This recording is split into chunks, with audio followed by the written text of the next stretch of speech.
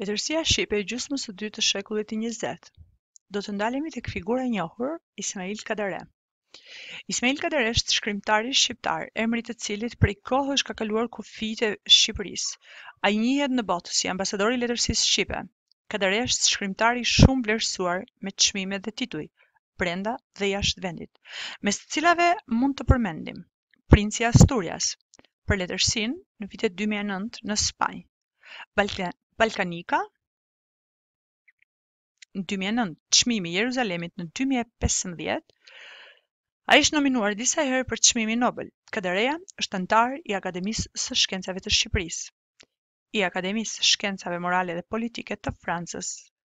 Mban titullin Nderi i Kombit në Shqipëri, mban titullin Kryqi i Legjionit të Nderit dhe Oficer i Legjionit të Nderit në Francë.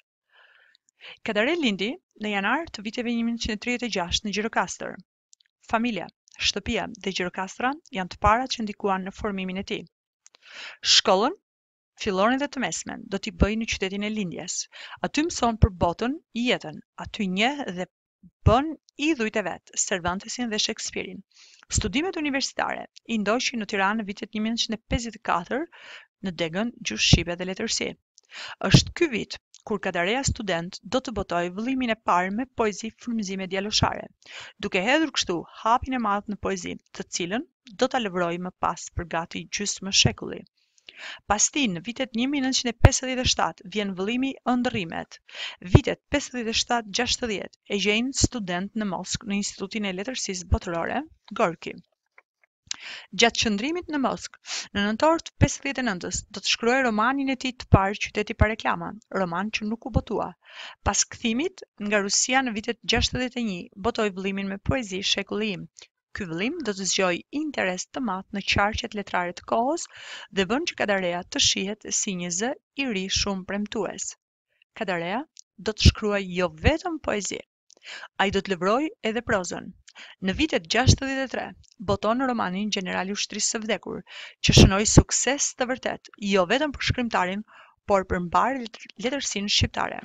Pas tij vjen romani Kronikë në gur, në vitet gjashtëdhjetë e katër, një roman që do të afirmonte kapërcimin e kufijve të prozës tradicionale dhe do të rrokte njëherësh tiparet e prozës bashkëkohore dhe asaj europiane.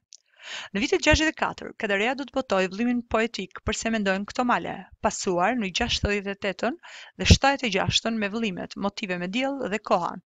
Kadare është tashmë zëri i fuqishëm i një poezie të re, i një arti të ri, që bart vlera të mëdha estetike, i një brezi të ri poetësh, edhe pse gjallonte nën trysninë e një metode dogmatike, ideologjike si ajo e realizmit socialist. Ai hyri në letërsinë shqiptare në vitet 60, bashkë me Agollin dhe Fatos Arapin, si një prej tre poetëve që sollën risi të tilla në poezinë shqipe, që do të shënonin hop kthesë, kapërcim në një poezi të re, moderne dhe që do të ndikonte fort ndër krijues dhe lexues. Njëherësh me poezinë, Kadareja bën hapa të sigurt në prozë duke botuar romanin Kështjella në gjashtëdhjetë e shtatën, Dimri i vetmisë së madhe në shtatëdhjetë e dyshin. Në periudhën shtatëdhjetë e pesë, tetëdhjetë, Kadareja boton vëllime me tregime dhe novela, emblema e dikurshme, ura me tri harqe, gjakftohtësia, koha e shkrimeve dhe romanin Koncert në fund të dimrit. Në vitet 80-90, përmes disa eseve të goditura, shpërfaqet filozofia e parimeve estetike të Kadares. Të tilla qenë autobiografia e popullit në vargje, Ardhja e Migjenit në letërsinë shqipe, Eskili, ky humbës i madh. Po i këtyre viteve është edhe romani Pallati i Ëndrrave. Vitet një mijë e nëntëqind e nëntëdhjetë, vite dramatike për Shqipërinë dhe shkrimtarin. Ai do të largohet në Francë dhe që nga ajo kohë e ndan jetën e vet midis Parisit dhe Tiranës. Kadareja shkruan me intensitet të dukshëm në vitet nëntëdhjetë, të kësaj kohe do të jenë veprat Dosja H, Piramida, Përbindëshi, Spiritus, Shkaba, Lulet e ftohta të Marsit, të gjitha romane, vëllimet me tregime dhe novela ëndërr mashtruese, tri këngë zie për Kosovën, vjedhja e gjumit mbretëror, librat e konceptuar si biseda me njerëz të shquar, si dialog me Alen Boskuen, Ra ky mort e u pamë, Kohë barbare dhe të tjera. Kadareja mbetet shkrimtari më prodhimtar. Gjithmonë dhe gjithnjë interesant, i shumë lexuar, i shumë kërkuar, i përkthyer si asnjë tjetër në historinë e letërsisë shqiptare. Shqipëria e vogël me popullin e saj me të djeshmen dhe të sotmen, me legjendën, mitin dhe të vërtetën, flet sot në dyzet e pesë gjuhë të botës, falë veprës së Kadaresë. Ai është personalitet dhe veprimtar i madh që punon, vepron dhe shkruan në dy sisteme.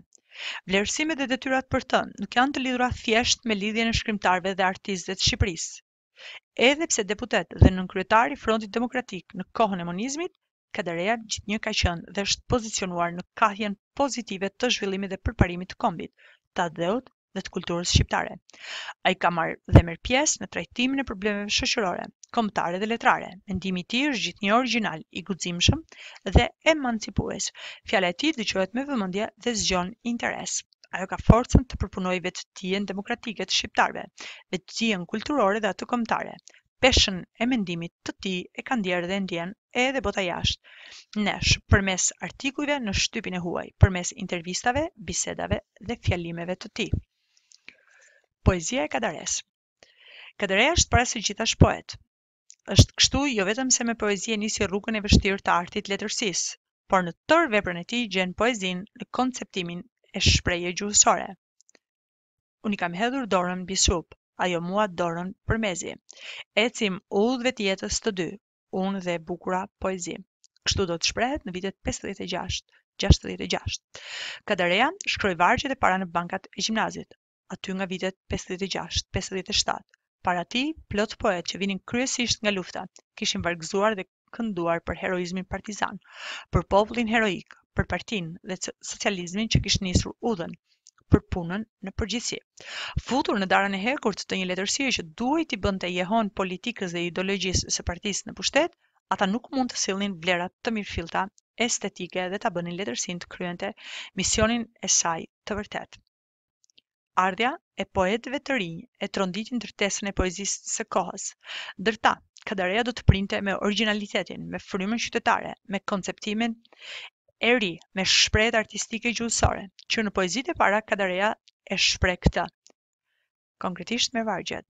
Mbi kalldrëme të pjerrëta, Ritmet thyeshin, rimat përplaseshin mbi gurët dhe binin. Ti the s'ka gjë. Dhe kështu mund të shkruhet, mjafton që në zemër ngricat të mos bien. Ishte guxim i madh në vitet 57 të shkruaje të tilla vargje. U zunë rrugët me dëborë, gjithë rrugët mbenë shkret. Ose zhurm' e shiut në pullaze, vjeshtës s'ka të sosur.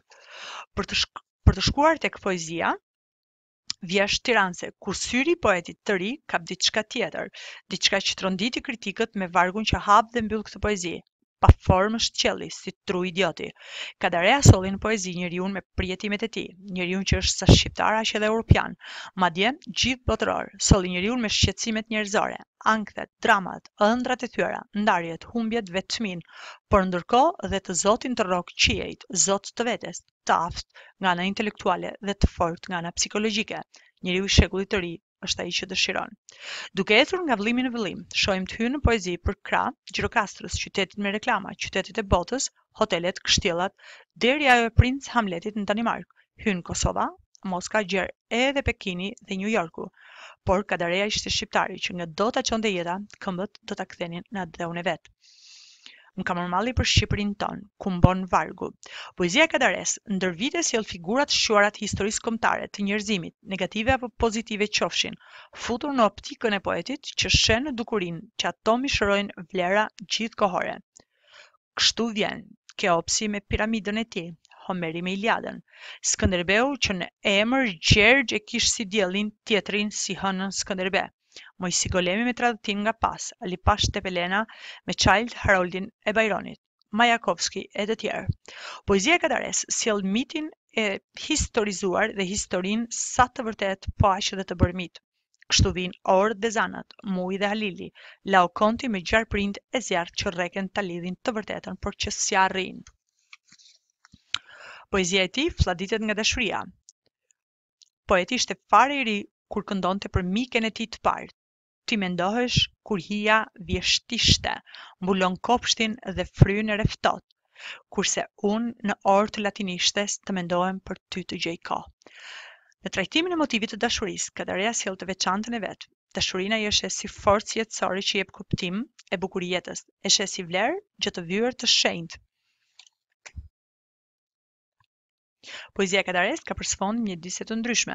Shqetësimet e tij njerëzore, qytetare dhe intelektuale shpalosen sa në natyrën shqiptare, në studio artisti deri në rrugë kryeqytetesh dhe metropolesh të botës.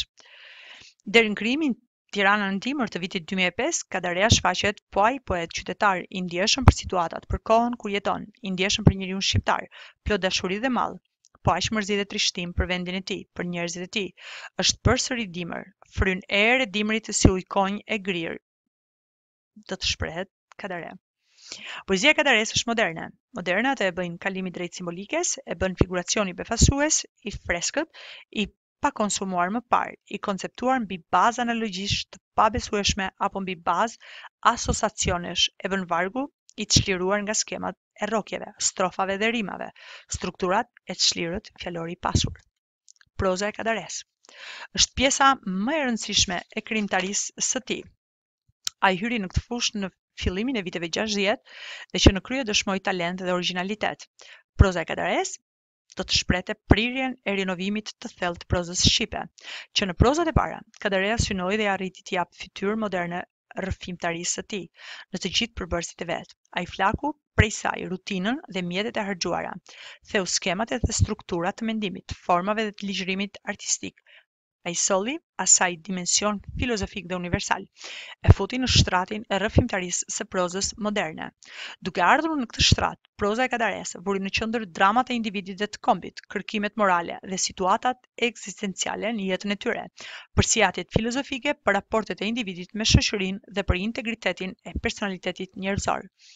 Nga një prozë ku ligjërimi rrjedh në mënyrë pak a shumë të njëtrajtshme, ku subjekti është linear, Proza e Kadaresë solli strukturën e një rrëfimtarie shumë shtresore, me thyerje dhe dinamikë të brendshme, mbështetur te fjala, detaji dhe figura artistike. Kadareja zhvendos kameran në disa plane, bën përzierje të zërit të autorit me të personazheve, bën përzierje të kohëve dhe përfton produkte, struktura e të cilave i ngjan asaj të mozaikut. Kadareja vendosi marrëdhënien e re midis të shkuarës dhe bashkëkohësisë, dhe duke përzier realen me irealen. Kadareja me prozën e vet i solli letërsisë europiane një aromë ballkanike, një aromë shqiptare. Romani i parë i botuar i Kadaresë është Gjenerali i Ushtrisë së Vdekur në vitet 63. Ai shënoi një arritje të madhe jo vetëm në krijimtarinë e autorit, por edhe në letërsinë shqipe, për mesazhet, vlerat dhe vërtetësinë që përcolli.